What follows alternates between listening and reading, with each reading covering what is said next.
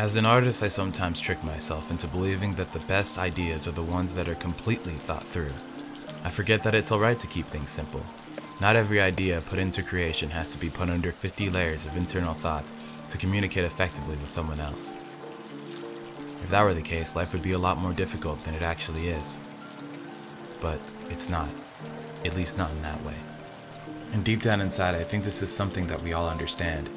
Yet, we still overthink. We let complexity become the enemy of our productivity. The more we lock ourselves away in our thoughts, the less we experience the freedom that comes from a genuine connection to reality. But connecting to reality is exactly what we're supposed to do. We're supposed to serve reality with our thoughts instead of letting reality's disappointment trap us within them. I'm not saying don't think things through. Rather, don't think things through if it begins to eat at you.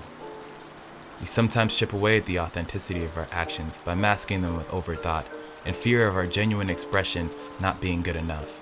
But that defeats the purpose of art. Because, in my opinion, the best art is genuine.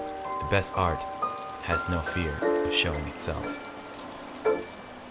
Moral of the story if you lose yourself in thoughts, let simplicity be the best guide. Just keep it simple, dude.